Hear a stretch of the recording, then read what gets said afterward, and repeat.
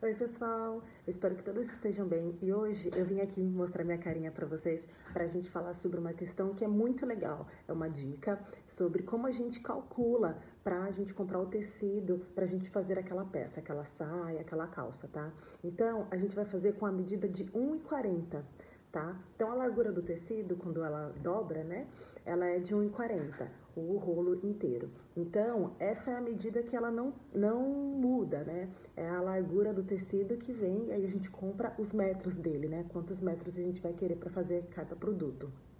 E a gente vai fazer da saia, deixa eu ver aqui, da saia, da blusa é, ou vestido com manga, da faia, do vestido ou da blusa sem manga e da calça também, tá?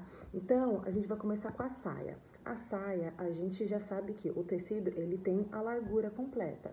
Tem tecidos que tem de 1,40, tem tecidos que tem 1,60 e outros que tem 2 metros. Por exemplo, o algodão cru, ele tem até 2 metros de largura.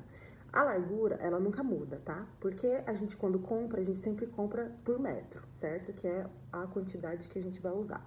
Então, para saia, a gente sempre coloca que é a soma do comprimento da saia. Por exemplo, se eu tenho uma saia que vai ter 50 centímetros de, de comprimento, que é até o joelho, a gente compra o comprimento da saia mais 20 centímetros, tá bom?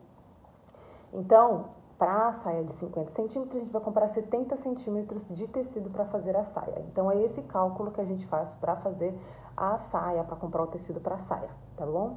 Agora, a gente vai para blusa ou vestido com manga. A blusa ou vestido com manga, a gente vai pegar o comprimento da blusa ou, da, ou da, do vestido, né?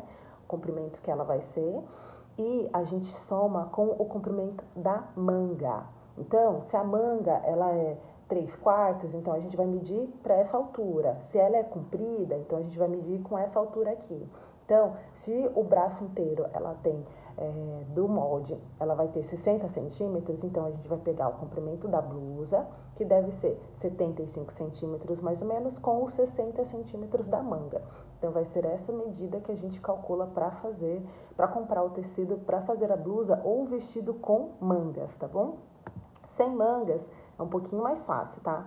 O vestido ou a blusa sem mangas, a gente usa o comprimento do vestido ou da blusa e a gente soma com 30 centímetros, tá bom?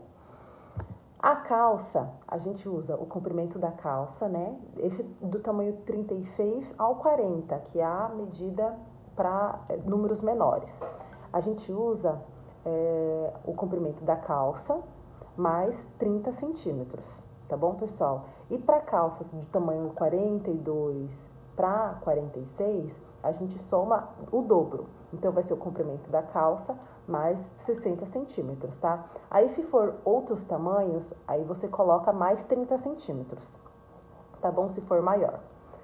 E é isso, pessoal. Espero que vocês tenham gostado da aula. Estou morrendo de saudade de vocês.